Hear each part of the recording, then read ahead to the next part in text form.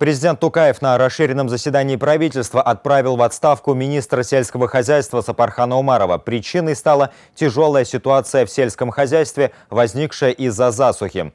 Также глава государства поручил рассмотреть необходимость введения временного запрета на вывоз кормов для сельхозживотных. В свою очередь аналитики отрасли прогнозируют рост цен на мясо.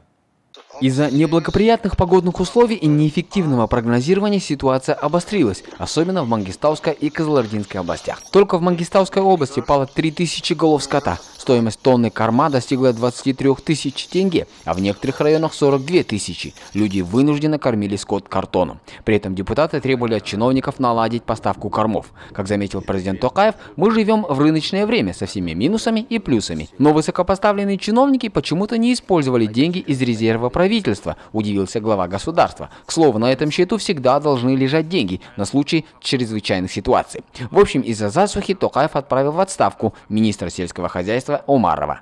ең алдымен осындай күрделі кезеңде тиісті министрлік шұғыл және батыл шешімдер қабылдауы қажет еді в этой сложной ситуации министерство должно было принять срочные и решительные меры. Министерство не смогло эффективно организовать работу, поэтому считаю правильным, чтобы министр Сапархан Умаров подал в отставку как единственное ответственное лицо в этой сфере. Эта работа, особенно во время кризиса, вам не по силам.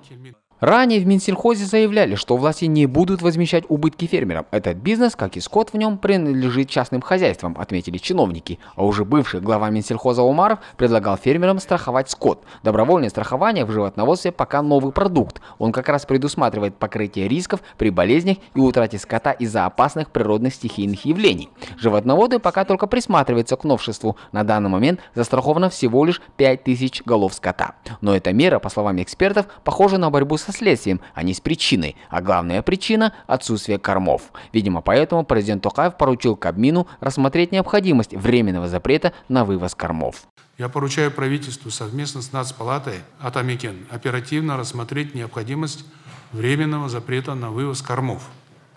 Для поддержки наиболее пострадавших фермеров правительству, Акимам, Институтом развития предстоит обеспечить реструктуризацию кредитов и выделение дополнительных субсидий на корма. Акиматом совместно с СПК и Минсельхозом следует в ускоренном порядке обеспечить льготное финансирование фермеров для форвардных закупок кормов благополучных регионах. Эксперты сообщают, что сейчас цена на мясо в Казахстане падает, потому что животноводы избавляются от скота, который не в силах прокормить из-за засухи. Однако это вынужденное снижение цен на непродолжительное время. В будущем она приведет к удорожанию. Тогда рост цен ударит по карману всего населения, а исправлять ситуацию будет слишком поздно, предупреждает председатель Мясного союза, экс-министр сельского хозяйства Мамат Пеков. К слову, для решения всех перечисленных проблем уже назначен исполняющий обязанности министр сельского хозяйства Казахстана. Им стал 44-летний Ербол Харшукеев. Ранее он был вице-министром финансов. Также он работал председателем правления государственного холдинга «Казагра». Кстати, этот фонд критиковали за многомиллиардные убытки, неэффективное управление ресурсами, простаивающие проекты в сфере сельского хозяйства. Бауржан Шайхмед Ахмедяр Ильясов, столичное бюро ТДК-42.